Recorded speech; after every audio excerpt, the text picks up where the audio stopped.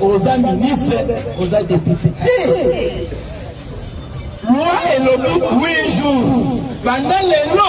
napesi bino wi jour makasi badepute babima na parlema mpona kovimba mikuwa apaka kwes chene kaboya nde abimai ne kalme ye aza nde aza ministre te kuna nayebi so baministre bavimbaki motu balobi a ah, to bandiko lisusu tosuka mabe me balobi eloko bakoki te naloba na wati bazwi enveloppe babi nzote na bango babeti biso tobendi enveloppe sikoyo na cour constitutionnel estce bakotikanga oto na koki omoni problème akomi nango yango wana awa 8 jours etika fo ezala jour moko mpo basilisa lelo baministre conseil des ministres ya suka bazokotisa rapport na bango premier ministre soki bakei ee biso ya lisusu te yango moni jean pierre be beba neti baza poste moko na ministre lutumbu siko neti bitumba ezali jean pierre bemba mpo asala nani te interim abete ar na gobo azwi bakuluna bagénéral oyo na président ndenge alobi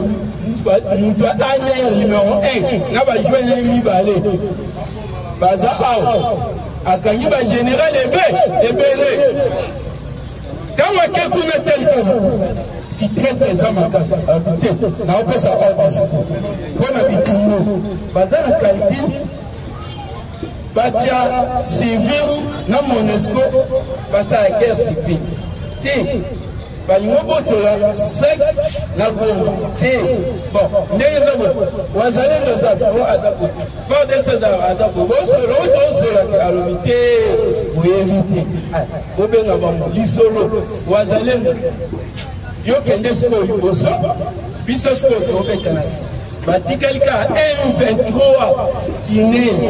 ntango babandi moto ya likolo bande biso tobandi koto tobandi batika eh, batiki bilamba bazokufa bazokima Batikeli biso bate betela fardc maboko makasi yango yokisake torekipere mobi mobimba siko nayebisi bino bitumba tokomi na 73 sur 100 yobetaka iki 100 etikali combien donc frappe ezobetama makasi tala motu moko mpe azobeta bango nano wana owa te pilote ya mwasi ye soki amatisi avion akanisi ka ndenge baviola bango na este eh? ba mvt bazobwaka mpenza ye soki amati avion afunika boye so esili avion likolo abana azwi likolo ya bato ntango akofungolaka ye nde moto alelisi mwana museveni tous les commando museveni akotisaki bakufi po kagame aotinakisi bamilitaire te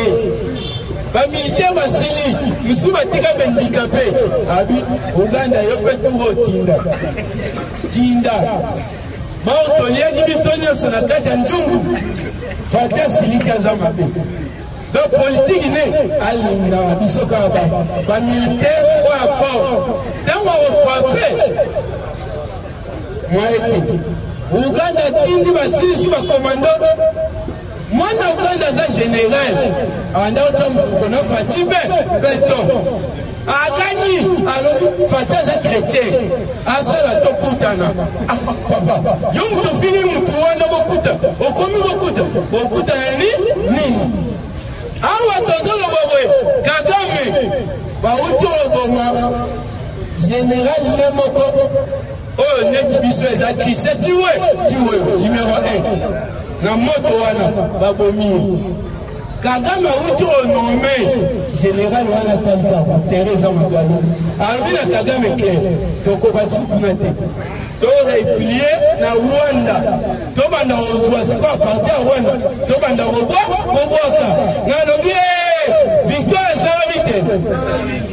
sikoyo yo ozoluka batya guerre guerre officielle yango wana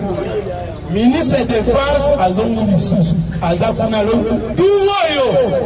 ayebisi population kuna bobima bolonga oyo kolonga te eza invente makasi tofrape bango siko kamwa ndambo etikali po siko etikali ta balanda kosokola tere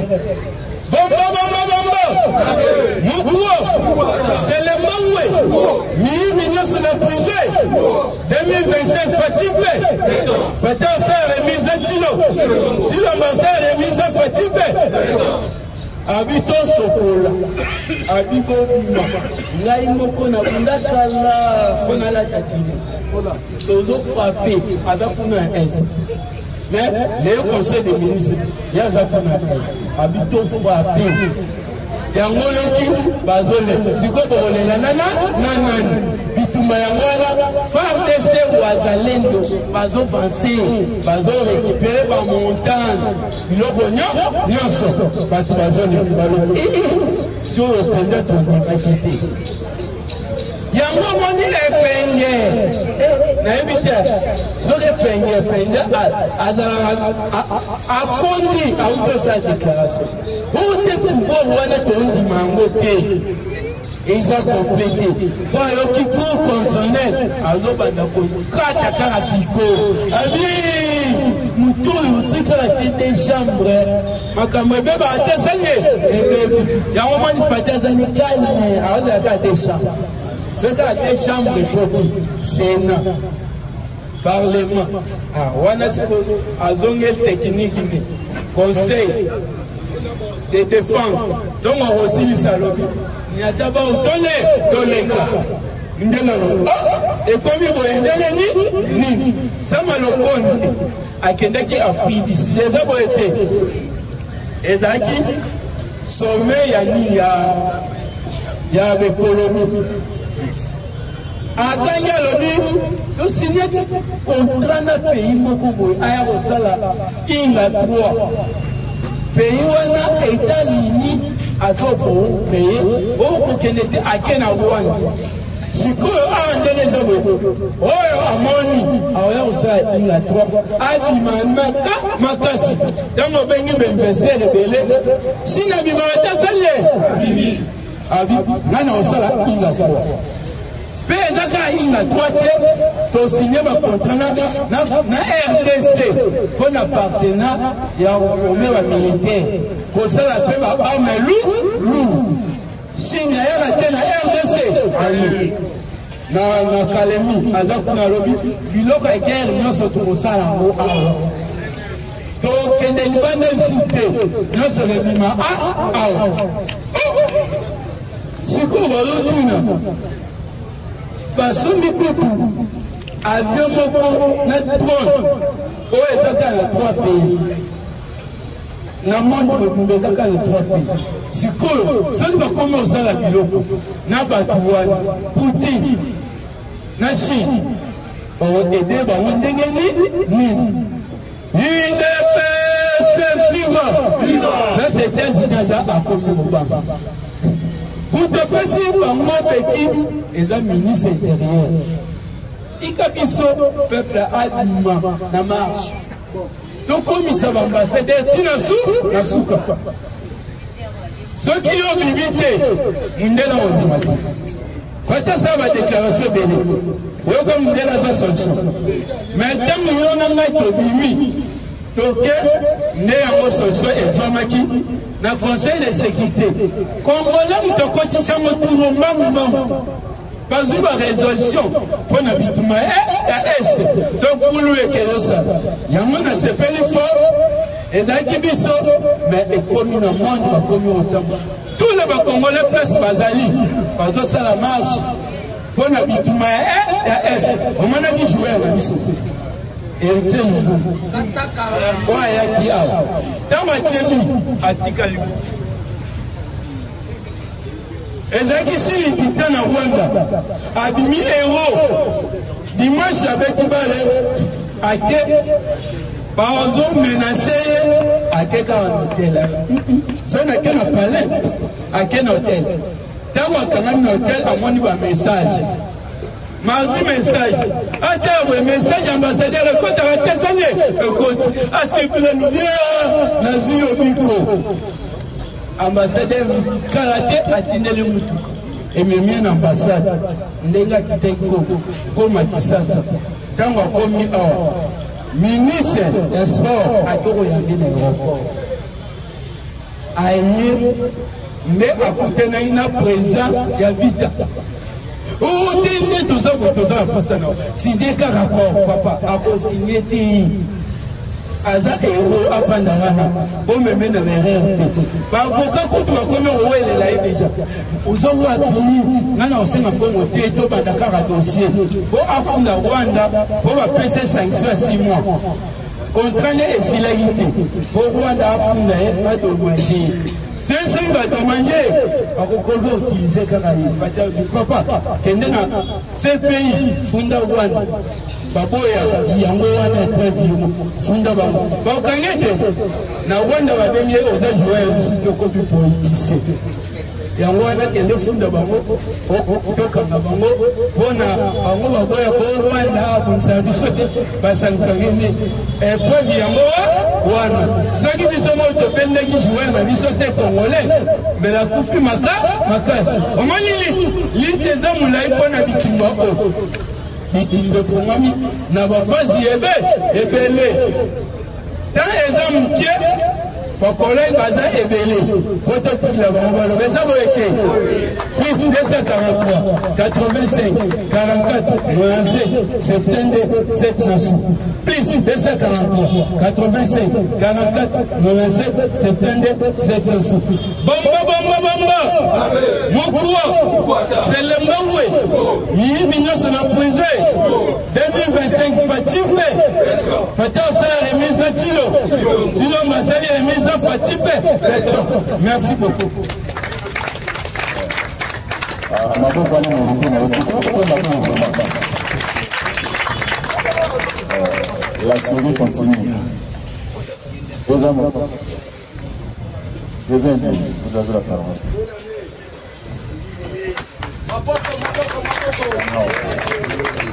Bluetooth mode.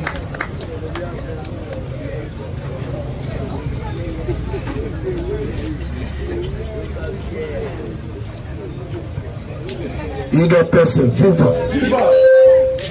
etienne tshisekedi wa mulumba héros national viva parlement victoire ethiopie viva, viva. viva. viva.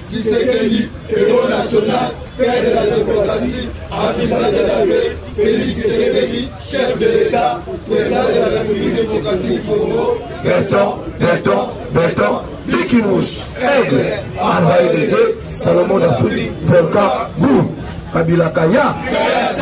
Fayulu Zéro, Msitubu, Katumbi Etra, Fatshi Ben, Subabilumbu Ben, Momai Wakaninda Ben, Mukishimutu Ben, Papa Gratuité Ben, le plus costaud du monde Ben, le plus beau d'Afrique Ben, le grand esprit Ben, Tokola Loboko. Attention, all officers. tokangaka loboko tokangaka boye te boye te mpo toza na mango soki eza ya awa te eza ya a politiki ekomi chile bayaki na mofulu ya mokamate biso toye na mokwa tokokwata bango ande kongo mon peu faci mon peu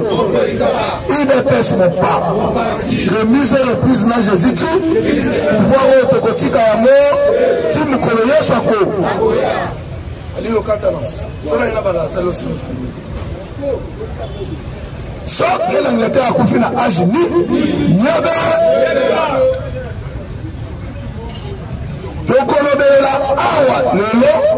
citation ya est mpe précisément l'embuscade oyo ebomi deux soldats sud-africains mpe na trois blessés tokoexplike yango ezalaki précisément na masisi tokolobelela Conference de presse ya notre secretaire general Augustin Kabuya Mwanabu boyote boyote soki oyebi te oza moto ya udps nalobi Augustin Kabuya Mwanabu oyo azali informateur nommé le 7 février epai ya chef de leo felix antoine seke tino facipe azalaki na conférence de presse na ye lo tokoloba makambo nini oyo elekaki ku tokoexplike makambo nyonso actualité eza ebele mai tokokende maleme maleme tobandi awa na uganda ba notable mpe bandeko ya nord kivu basengi na gouvernement congolaise explice oyo tobengi ambassadeur ougandais na sol congolais botuna nga mpo na nini Ba Ougandais bazali ko soutenir M23 militairement, armement mpe na materiel militaire. Yango basengi ke ndenge tobenganaka Karega awa Vincent Karega oyo azalaka roi azalaka traitre monene tobenganaki ye awa nde basengi to explice Ambassadeur ougandais azonga epa na ba boye to boye te ambassadeur ougandais uganda ezobundisa biso toza na guerre de pays oyo ezali visible oyo tozomona na mi ezali uganda na wa ale toye kobakisa na bamere boye to boye te toye kobakisa na banglais bafrançais e consort bapolonais boye to boye te bouti bino moko komona awa president ya pologne aye awa bolandaki makambo oyo alobaki yango tozosenga mpe biso mpe bakominikater ya chef de leo oyo tosalaka mosala mikolo nyo tolobi abenga na biso ambasadeur ya uka azonga epa museveni boye to boye te Trop c'est trop. Trop c'est trop. nazongi na information ya lobi nasilisaki te tozobanda na dossier salomon escadela oyo azali parmi baye babanda kotambola na katumbi bato wana ntango bazalaka libanda babelaka te mais soki akomi akoti kaka na prison akomi malamu asengaki ete bapesa ye liberté liberté provisoire mpo akende kosefer soigne mais cour de cassation mpo yango ande atikala ku awa mpe tozali mpe na hôpital renaissance oyo faci beto atongeli biso oyo ezalaka ex mama ye akende kuna bakende kosoigne ande makambo ya libanda ezali obomaki awa na kongo okokufa na ko oyibaki awa na kongo bakoyiba yo awa na ko boye to boye te babomaki awa baza bacomplice parmi ba 123 oyo badekouvri makambo ebele na telefone ya salomo eskadela donc salomo akozonga akobima te akotikala kuna libe atuna sango epai yaka atuna sango epai yaka oyo tobebisa makabu tozwaka ya ye na nini chemise ya nzau na de pantala singati boye to boye te lelo akomeli biso ya me tolakisa bato ya udps nde baza bato ya so boye to boye te aza na kati ya boloko te akobeta boloko udps vivant udps vivant Fatshi Ben, Subadi Lumbu Ben, Momayi Wakaninda Ben, le plus costaud d'Afrique Ben, le plus beau d'Afrique Ben, Tombola Loboko Ganga Baz. L'informateur, il y a majorité présidentielle. Augustin Kabuya, moi la boute, lobby, ma conférence de presse, à lobby boyer, que akoinscrire parti politiki moko te akoinscrire regroupement politiki moko te akosolola na bato nyonso udps viva parce que comme mokonzi ya mboka azwa major dans un mois il faut augustin kabuya amema rapport epai ya mokonzi ya mboka mpo na kotalisa ye ke majorité na yo yango o udps viva udps viva kabila kaya fayulu se musitu bu katumbi etra faci be suba bilumbu be le plus costaud du monde be le plus beau d'afrique be tombola loboko kanga ba biso totombolaka loboko togangaka boye to boye te mpo toza na mangwe lobi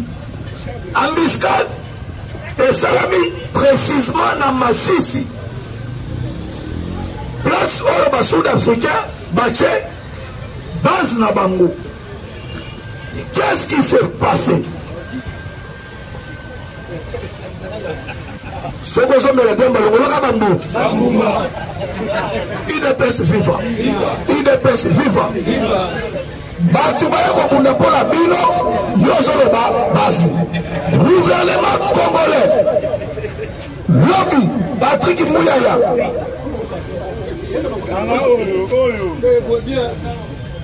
Lobi Patrick Muyaya, oyo azali ministre ya communication et media. a presente ba condoléances na ba sud africains oyo bakufi lobi pourquoi ba sud africains bazali ba bantu lokola nga nao tozali baba boye to boye te est ce que awa nde totelemi ya nilo tika ezali papa zwelaka bango zwa kamera est ce que nilo tika ezali awa tozali biso nyonso baba ba sud africain lokola bazali babantu bayawa mpo na kodefendre bandeko na bango baba boye to boye te ba chose grave lobi tomoni bazwi obi babeti eke kokwela na camp ya basud africain ebomi deux soldats sud africain mpe trois bazalaki bablesse balobi se l'arme rwandais Nde moto esali makambo oyo Poutine amoni yango na mi ayoki yango na mato nalobi Poutine amoni yango na mi ayoki yango na mato pourkoi nalobi Poutine tozobandela su mpo bakombata bayoka afrique du sud ezali parmi bapays membre ya brics baza 5 oyo babandi brics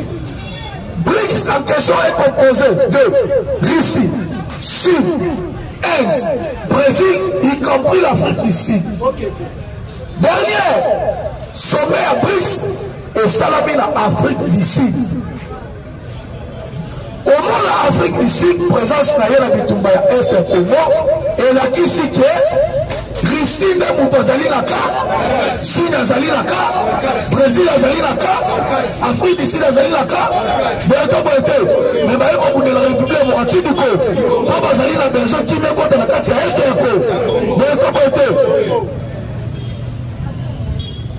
babomi mibale me bango bakokufa ko idps viva idps viva 22 heures ce jeudi 15, deuxième mois 2024, les intenses combats entre les Wazalendo, par FARDC contre les coalitions M23, par RDF, M23, Balobi Bazali Congolais, RDF, Ezali armée rwandais updf ezali armé ougandais donc tozali awa face ya trois armées sans compter ba mercenaire esaleli bocomprendre ntango toloba te m23 m23 selon kagame ce sont les rwandais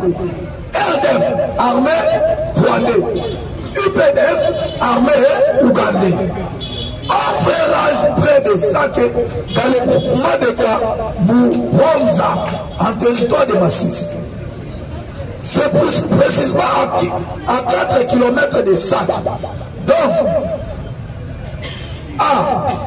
Lukobongo, où les Vardes se barrent aux pour chasser 16 agresseurs rwandais afin de les repousser très loin de la cité. Les premières positions de ces agresseurs rwandais situés sur la colline surplombant la localité de Ngumba et Kambe, Rutsake, Kiroche et au-dessus de chez Madimba vers Kiru sont pilonnés sans cesse par la tuilerie lourde de Fardessé. wapi bamonaki moto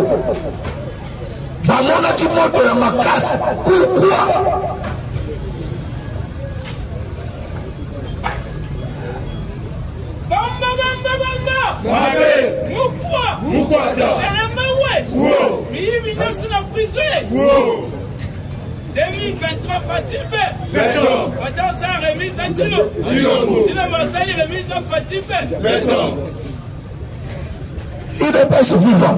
bamonaki kota makasi na mokolo ya lobi oyo esalamaki mais tozali awa udps viva udps viva tozali awa na elektio oyo eza liboso na biso awa eza elektio ya basenatere eza election ya bagouverneur eza election ya babukumese boye to boye te na ntango ya kabila atikala kosala yango nalobi na ntango ya kabila atikala kosala yango nde nazokende soko koinforme informateur oyo tobengi sese kabu biso tanke bacommunicateur ya udps mpo na bandeko na biso ya congo central toponi kudya mbete kudya mbete Kujambete koja yende akoma gouverneur akoma gouverneur kokosa eh, papa bozali wa nalobi kujambete koja yende akoma gouverneur kokosa biso parlema etiopi toza na nsima na po azali mwana mwana kongo central ya to po azali mwana kongo central ya so beto boye te tombola lobokokanga ba sesakabuya fongola mato tosali kujambete koja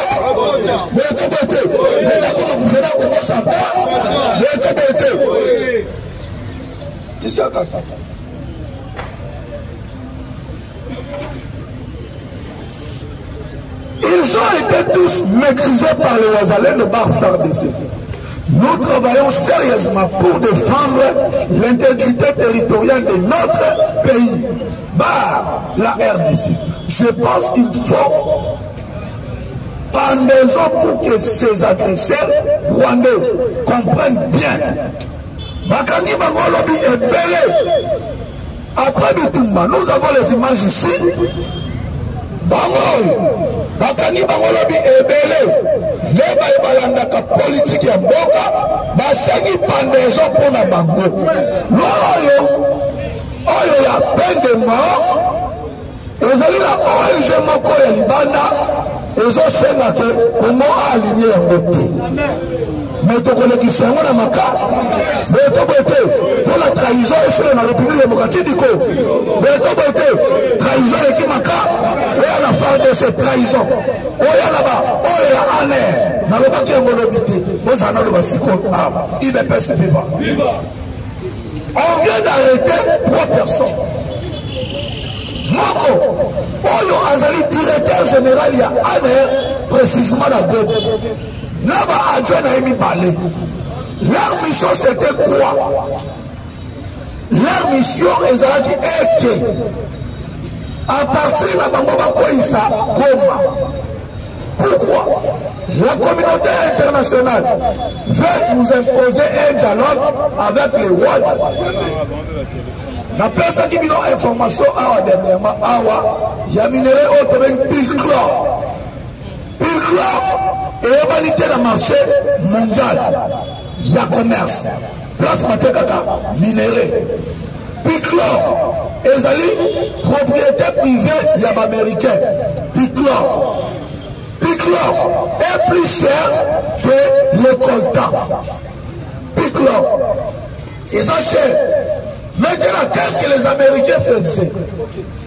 babandaki ko utiliser Rwanda na Uganda balobi babandi ko exploiter minerai oyo depuis 1958 nanu tozwi indépendance ya Congo te indépendance tozwi yango na 1960 mais depuis 58 bato oyo bazwaka minero tobengi piclore ezali kaka uniquement mpo na baaméricain bato mosusu bakoki kozwa yango te bato mosusu bakoki koyeba prix yango te bato mosusu bakoki komona yango te c'est ça mais dans aujourd'hui oya ya cilombo na pouvoir abongoli makambo nyonso baaméricain bakomi kolela na monoko ya mbongo idps viva naye bazwa su piclor ezali yango mpe nayebisi bino lobi awa ke poutine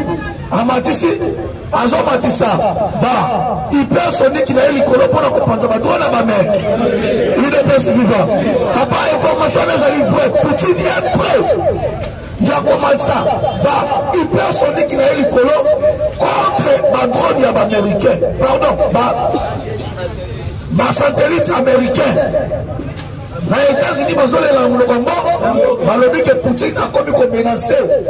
akomi akomi komenase ndenge oyo ezolobama sikoyo me tozokende na bamerge ntina su udps viva udps viva congo mon peu vati mon peu udps mon pas remise et reprise na jésus christ pouvoir papa tozali na manque te tozali na parlement de tozalaka na flèche na elela flèche de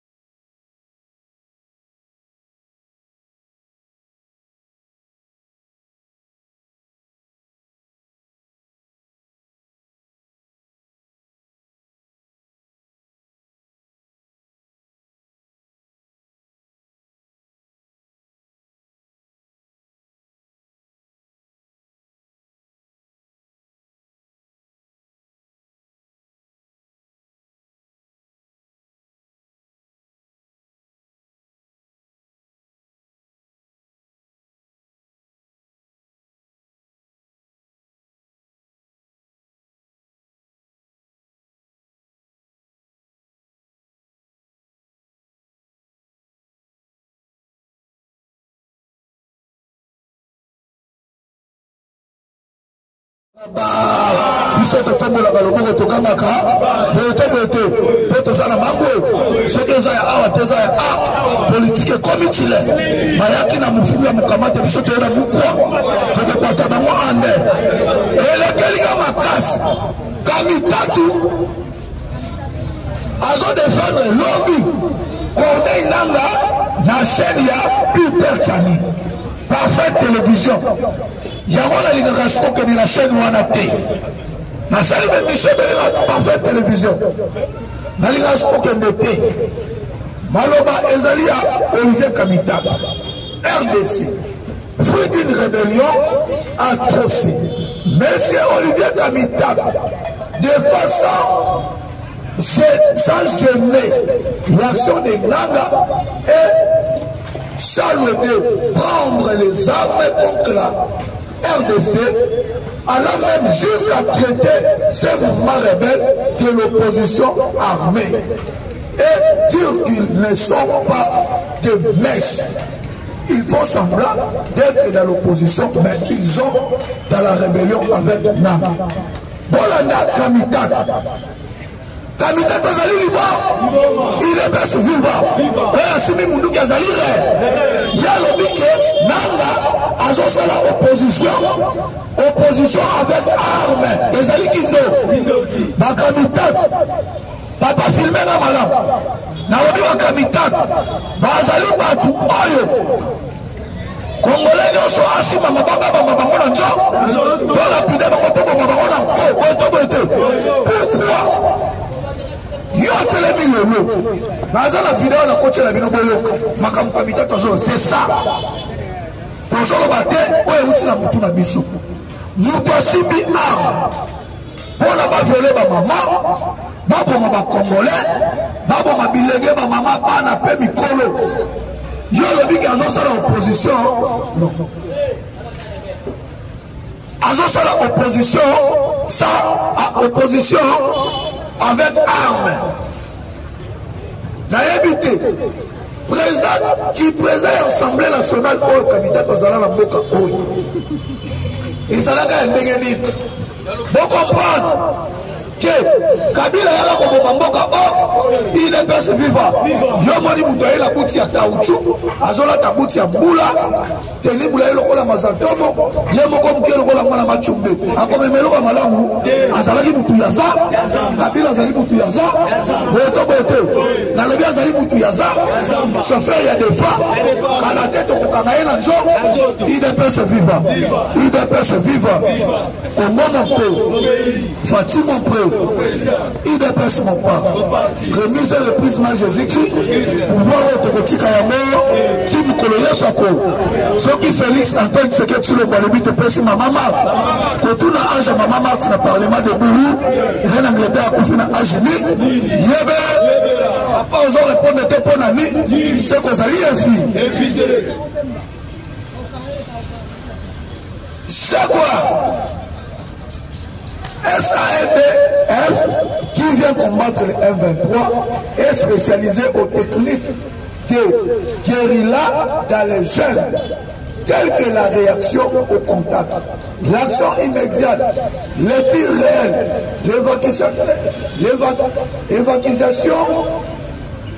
Des victimes,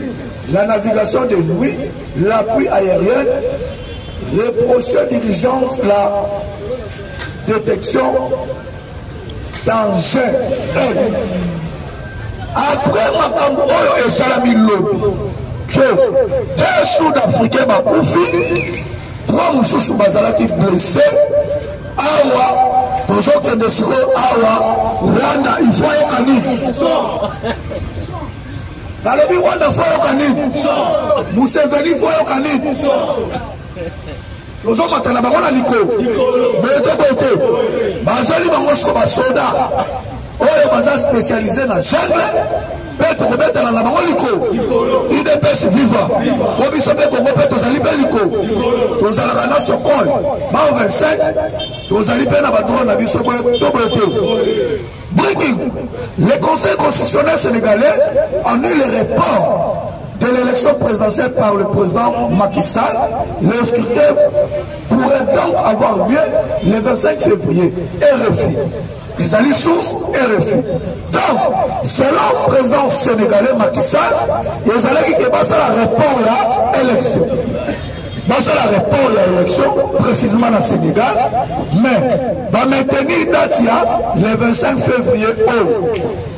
nde election presidentielle ezosalama na kati ya senegal il faut makisala akende liba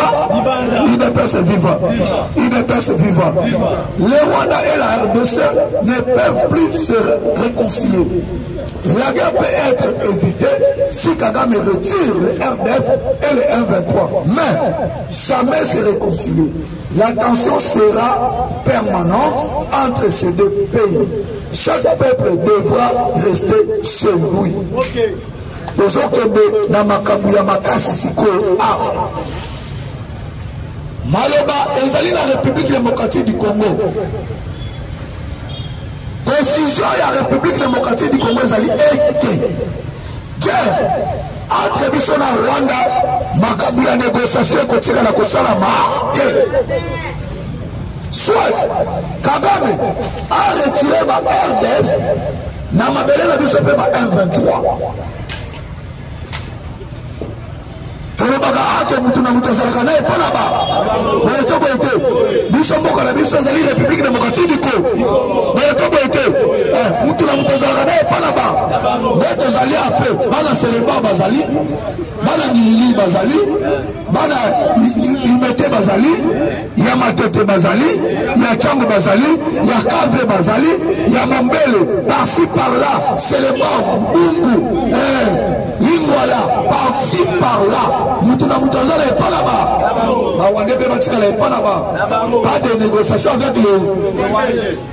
Le diable. Pas de négociation avec le diable na biso kombo na ye kaka oyo nabengaka jean 10 boye to boye te bajean 10 bozali miba totanga to totanga te nalobi jean 10 bozali miba ya liboso kombo na ye kazemerebekana akoma joseph kabila paris ya masoji ya bakata boye to boye te bakatani ya bato bakomisa joseph kabila kombo na ye kasembeka mekana udps viva ya mibale oyo tobengi oyo azali molai lokola si boye to boye te oyo tobengi paul kaga kazali ka moke lokola si soki otali ye na ngungi bakokana maka boye to boye te ye nde oyo azali ya mibale na fpmsco jean 19 Jean 12 12 elobi boye les voleurs ne viennent que pour dérober égranger et détruire boye to boye te barwande bayaka kobebisa mboka o oh, kabila ayaka kobebisa mboka o oh, nakotyeli biso infiltration bisika nyongo fati be suba bilumbu be momayuakaninda be mikisimuntu be papa gratuité be le plus costaud du monde be le plus beau d'afrique be Oza yuma, oza rekonde te mpo na nini? Alobi ta chipe, le grand esprit pe, mama iwakaninga be, tombola loboko kanga ba, biso totombolaka loboko togangaka boye te boye te, mpo toza na mangwe. Papa nayebisi bino este ezali ya koyi, toloba te toloba te, lobi bavolontaire, bavolontaire na kati ya Goma. ba volontaire ba patriote congolais ba decide balobi biso mpo tokende na sake soki bakoboma biso baboma bi awa ezali likambo ya conscience patrio boyete boye te balobi awa ezali likambo ya conscience patrio conscience patriotique elati congolais nio namoni awa bazoloba awa rdc toujours asaka l'effort spécial wazalendo phare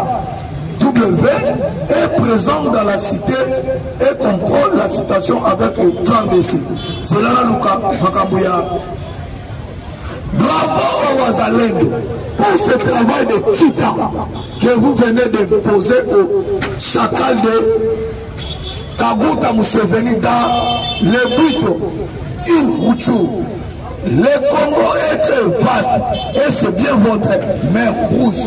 qui va vous s'avaler. Venez nombreux, nous avons Dieu avec nous et notre combat est spirituel. balobi boye kongo ezali monene maka boye to boye te kongo ezali monene maka ekomela museveni lobi atindaki bato na ye na rucu bakufi ebe udps viva malgré ba arme sophistiqué oyo bapesi bango epa baoccidentaux croyant ke soki baye bakolonga république démocratique du congo me bakutani na nzambe ya congo oyo représentant na ye komone félix antoine seketio me ekoboye te udps viva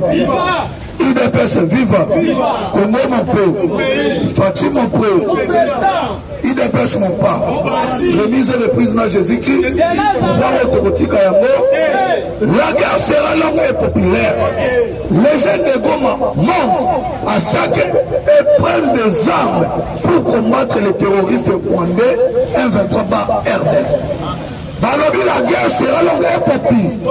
kabila le père moto alobaka ya la guerre la guerre sera longue et popi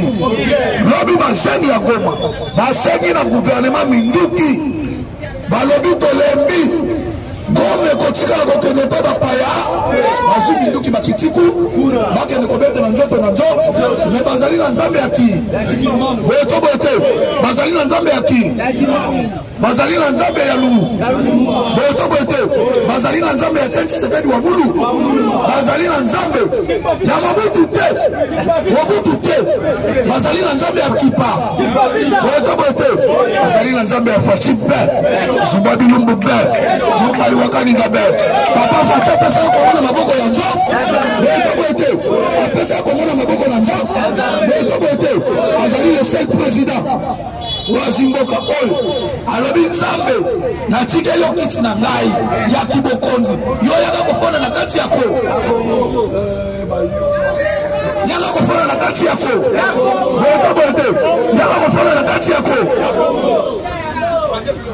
alobi nalile mukwata Wow. 2025 Fatih Bey.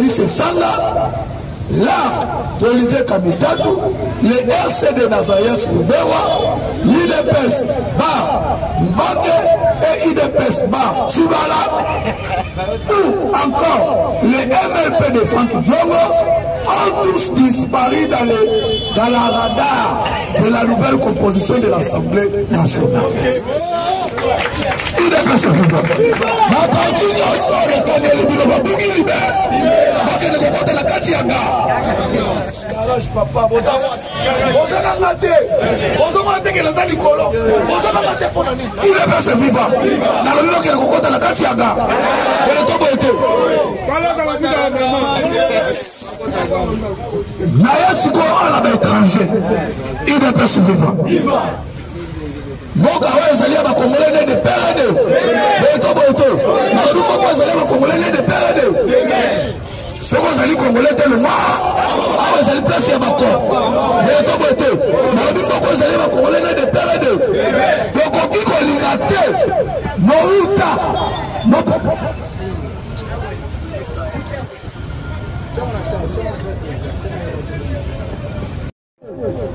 tokoki kolinga te mopaya aya komonela kongole na kati ya mboka na boto boye te nde kolinga yango biso tofanda na bangola naleki na ngola wana nafandi tomona makambo oyo basala biso na bangola ntango koyokaka jiba yembaka epaka ekoti na saifora saifora eza na portugais elakisi bima libanda Saifora elakisi bima libanda tomona boye tokoki kolinga te ke mopaya ata yo ndenge oza wana soki oza na mopaya moko pembeni na bino azotungisa bino yaka koyebisa biso a ah, boye to boye te soki boza na mopaya aye aye kotungisa bino yo ozali mwana ya mbo ozali soso ya ko boye to boye te nde lelo eza na nigeria moko awa oyo azosala babetise makasi ake nazo bofilme ake kokorompre meme bourgmestre mpona banyokola bana ya mboka tokotikala kondima yango boyete boye te nalobi tokotikala kondima yango tozosala mobilisation lelo toza moke Lobi, il faut yoka nini? Son. Il faut yoka son. aza mosika te lobi tokoloba place azali bosala mobilisation tozala a ah, lobi ebeo ilfo ayoka makelele ya maka akomprendre ke mboka ezali ya peuple ko ezali mboka ya baétranger eh? sur ce notre séance d'aujourd'hui est élevée bonne journée à tout le monde